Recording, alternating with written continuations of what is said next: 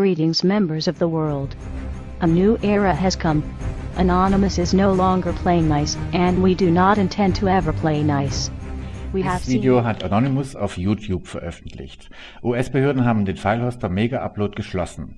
Anonymous hat mit massiven DOS-Attacken reagiert. Auf Twitter hat Anonymous verkündet, dass dies der größte Angriff von Anonymous überhaupt sei. Der Tweet ist inzwischen allerdings verschwunden. Mit der OP Mega Upload wurden innerhalb von 20 Minuten zehn Webseiten lahmgelegt, darunter die des US-Justizministeriums. Der Real-Time Web Monitor des CDN-Anbieters Akamai errechnete 24% mehr Angriffe als üblich, wohingegen der normale Webtraffic zwischen 11 und 13% über dem normalen Niveau liegt. Am gestrigen Donnerstag wurde in acht weiteren Ländern außerhalb der USA der Filehoster Mega Upload geschlossen und vier von sieben Angeklagten festgenommen. Kim Schmitz, der sich inzwischen Kim.com nennt, stammt aus Deutschland.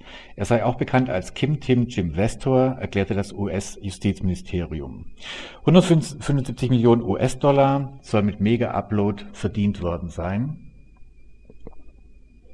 und ein vermeintlicher Schaden von 500 US-Dollar Dollar entstanden sein. Im Rahmen von über 20 Hausdurchsuchungen in acht weiteren Ländern wurde Besitz im Wert von rund 500 Millionen US-Dollar beschlagnahmt. Den Angeklagten droht bis zu 20 Jahren Haft. In dem Video bezeichnet Anonymous die für die Schließung Verantwortlichen als korrupt.